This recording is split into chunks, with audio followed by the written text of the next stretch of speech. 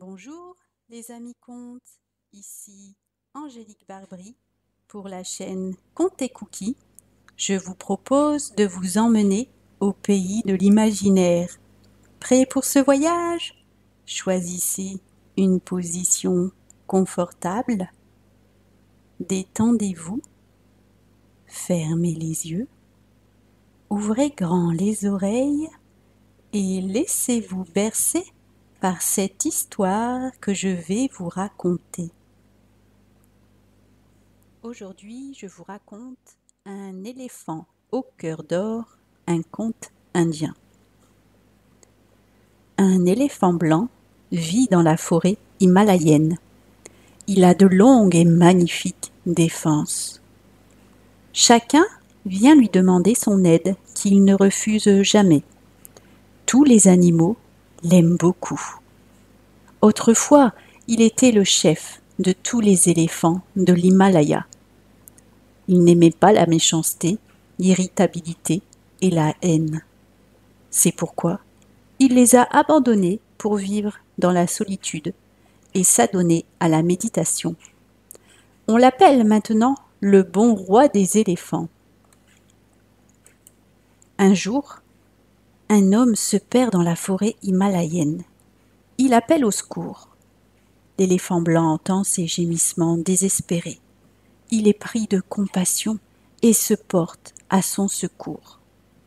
Il tend sa trompe vers l'homme qui recule, effrayé. Pendant un certain temps, l'éléphant s'avance et l'homme recule.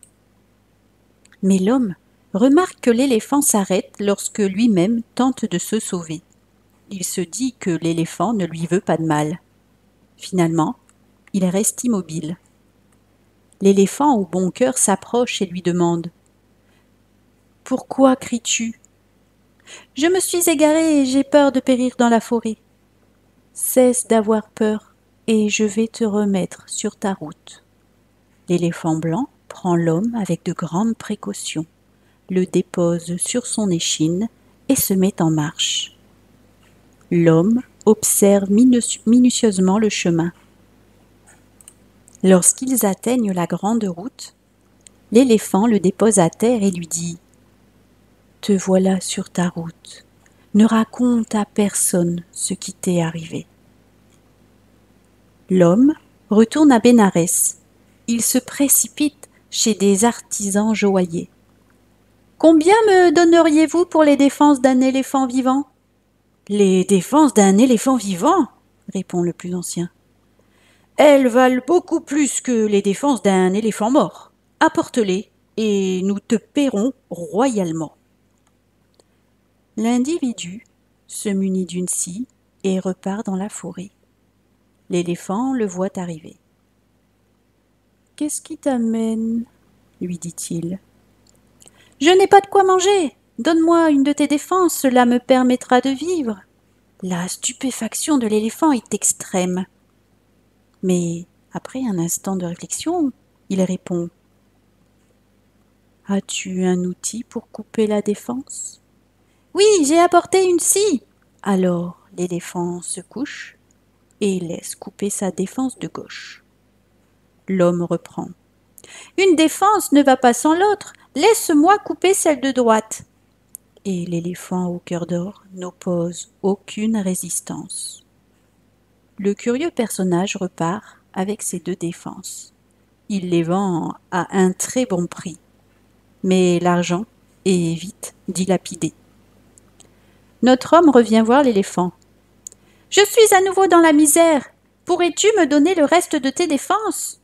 L'éléphant blanc accepte, se disant que, puisqu'il avait donné les défenses, il pouvait aussi donner les restes. Les restes sont sciés et sont très rapidement vendus aux artisans de Bénarès. Mais l'argent mal acquis s'envole à nouveau. Nouvelle visite auprès de l'éléphant. Tu m'as donné tes défenses, tu m'as donné les restes. Peux-tu aussi me donner les racines, que j'aille aussi les vendre pour vivre?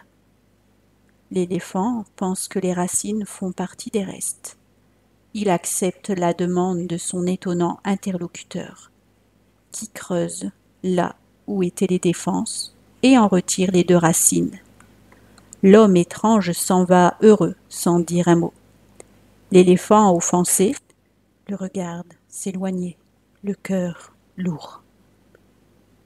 Mais la terre, qui supporte le poids des montagnes, ne peut supporter le poids de la méchanceté de ce misérable.